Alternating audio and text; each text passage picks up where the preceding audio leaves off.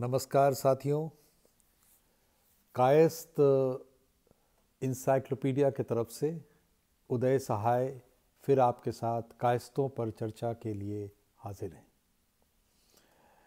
पिछले एपिसोड में आपको याद होगा, हम लोगों ने भारत में बड़े कायस्थ राजाओं के आइडेंटिफिकेशन में जो दिक्कत आती हैं, उस पर चर्चा की।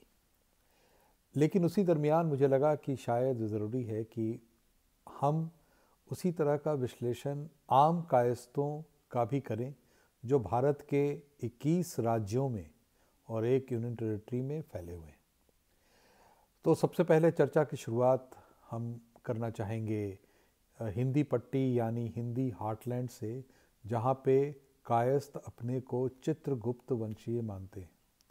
चित्रगुप्त के वंशज के तौर पे ये बारह कायस्थ जो उनके बारह लड़के हैं आ, मानते हैं कि इनका इनके पूर्वज यानी चित्रगुप्त का अवतरण उज्जैन के पास एक कैथा गाँव में हुआ और वहाँ पे उन्होंने विधि विधान सीखा पूरे यूनिवर्स को चलाने का और उसके बाद उनकी दो शादियाँ हुई और उससे बारह बच्चे ब्लेस्ड हुए वो और ये बारह बच्चों को उन्होंने गुरुकुल भेजा पढ़ाई लिखाई ख़त्म करके जब आए तो भारत के बारह दिशाओं में उनको अपनी आजीविका अर्जन के लिए प्रस्थान करवाया। तो इस कहानी इसकी शुरुआत यहाँ से होती है और ये बारह बच्चों का नाम हम सबको पता है। वो हैं श्रीवास्तव, वो हैं अम्बस्ट वो हैं माथुर, वो हैं सक्सेना, वो हैं कुलश्रेष्ठ, वो हैं वाल्मीकि, वो हैं सूर्यध्वज, वो हैं अष्ठाना, वो हैं कर्ण वगैरह। तो सबसे बड़ी चीज़ है कि ये तमाम जो हिंदी पट्टी के कायस्थ हैं, वो अपने को मानते हैं इनके वंशज, लेकिन उनके जो नाम हैं, वो पॉपुलर नेम्स हैं, वो गिवन नेम्स नहीं हैं। गिवन नेम्स से मतलब है कि गिवन नेम्स वो नेम्स हैं जो आपके माता पिता आपको देते हैं, और पॉपुलर नेम्स वो नेम्स हैं जो आप अपने, इन कोर्स ऑफ़ टाइम, अपने प्रोफेशन के कारण या किसी और कारण से आप अर्जित करते हैं। तो उदाहरण के तौर पे श्रीवास्तव का नाम आ, आ, जो गिवन नेम था वो था भानु। माथुर का जो गिवन नेम था वो था चारू। अम्बस्ट का जो गिवन नेम था वो था हीमबान। लेकिन ये जो पॉपुलर नाम पढ़ा वही सरनेम के आइडेंटिफिकेशन का आज कारण बनता है। और उस पॉपुलर नाम में अगर आप उसका आधार ढूंढें तो ब्रॉडली तीन आधार मिलते हैं। पहला, आप पाते हैं कि श्रीवास्तव जो हुए, ये जोग्राफिकल लोकेशन से लिंक्ड है। जैसे उदाहरण के तौर पे, श्रीवास्तव या तो स्वात वैली या श्रीनगर या श्रावस्ती से उनका एक रिश्ता है और सरनेम वहीं से निकलता है। उसी तरह से आप भटनागर का देखें तो भाटनर से एक रिश्ता है और वहीं से कहीं ना कहीं उनका सरनेम निकलता है। उसी तरह मथुरा से माथुर आए ये एक आधार के अलावा दूसरा आधार है जातीय गुण। जैसे निगम एक रिलीजियस और स्पिरिचुअल टेम्परामेंट के लोग थे और ये अयोध्या के आसपास में जाकर सरयू नदी के किनारे बसे और इनको निगम उनके ओरिएंटेशन के कारण, उनके जातीय गुण के कारण उनको निगम शब्द से नवाजा गया। उनका पॉपुलर नाम निगम पड़ा। उसी तरह से आप अगर और आगे बढ़ें तो सूर्य ध्वज वो सूर्य के उपासक थे, उनके फ्लैग्स में बतौर टोटेम या लोगो आज भी एक सूर्य का सिंबल मिलता है और इसीलिए उनको सूर्य ध्वज कहा गया। तो ये जो जातीय गुण थे उनके आधार पे उनका सरनेम पड़ा।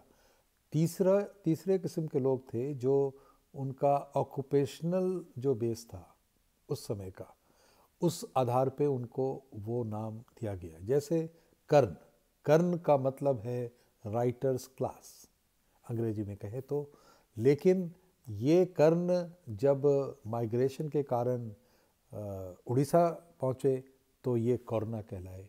ये जब मिदनापुर ज़िले में वेस्ट बंगाल में इनको ट्रेस करते हैं तो ये करनी कहलाते हैं। जब ये आंध्र प्रदेश चले जाते हैं तो इनको आप कर्नम के नाम से पुकारते हैं। जब ये कर्नाटका चले जाते हैं तो ये कर्णिका हो जाते हैं। जब ये तमिलनाडु पहुँच जाते हैं तो इनको कर्णनिगार कहते हैं।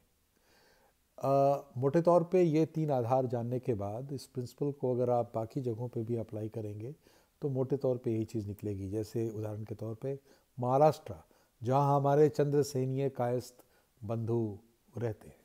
चंद्रसेनीय कायस्थों में भी जैसे एक सरनेम ले लें गडकरी। अब गडकरी एक ऑक्यूपेशनल आधार पे बिल्टअप एक सरनेम है।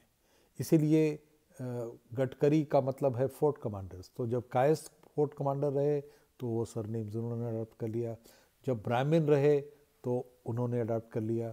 तो ये दिक्कत आती है आइडेंटिफाई करने में, लेकिन उसका बेस है उसका ऑक्यूपेशनल जो उनका स्ट्रक्चर जहाँ से वो, जहाँ वो थे। उससे वो लिया गया है। उसी तरह से कारखानी जो थे, वो फोर्ट के अंदर जो कारखाने थे, उसमें कई चीज़ें बनती थी। वो कारखानी कराए। सूले जो थे, उनमें एक शौर्यता की, का का जो गुण था, वो सूले कहलाए वगैरह वगैरह। तो जितने नाम हैं, उनके, उनको डिकन्स्ट्रक्ट करेंगे तो जातीय गुण या ऑक्यूपेशनल बेसिस या फिर किसी जगह से वो बिलोंग करते हैं। किसी गाँव से बिलोंग करते हैं। कुछ केसेस में पिता का और ग्रैंडफादर के सरनेम से तो यही स्ट्रक्चर मिलता है। तो ये स्थिति महाराष्ट्र, गुजरात, मध्य प्रदेश में चंद्रसेनी कायस्तों की है। यही स्थिति हिंदी हार्टलैंड के कायस्तों की है। अभी चित्रसेनीय कायस्तों की चर्चा हम आज नहीं करेंगे, क्योंकि वो वर्क इन प्रोग्रेस है। उसमें हम और गहराई में जाने की कोशिश कर रहे हैं। लेकिन वो भी हम आपसे जल्द साझा करेंगे। तो आज कर आज के लिए दोस्तों इतना ही काफ़ी है कि आपको मैंने एक ब्रॉड प्रिंसिपल से अवगत कराया कायस्तों के सरनेम पे। आशा है जब आप एक दूसरे से मिलेंगे तो आपके दिमाग का पर्दा थोड़ा ज़्यादा खुला होगा और एक दूसरे से आप ज़्यादा रिलेट कर रहे होंगे। इन शब्दों के साथ आज आपसे विदा लेता हूँ। टिल द नेक्स्ट एपिसोड तब तक के लिए बहुत बहुत धन्यवाद। शुक्रिया। अलविदा।